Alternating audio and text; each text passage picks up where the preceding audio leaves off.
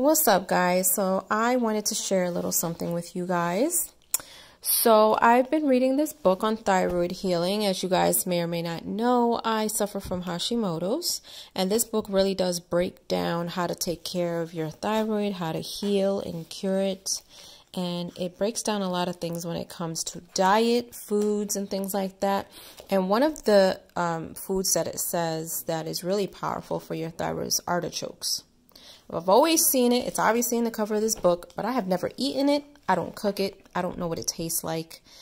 Leave a comment and let me go, let me know if you guys have eaten any artichokes before. How do you cook it? How do you make it? Babe. What?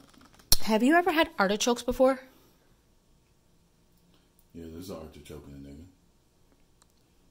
No, I um what? There's an artichoke in the nigga. I, I said if you had an artichoke.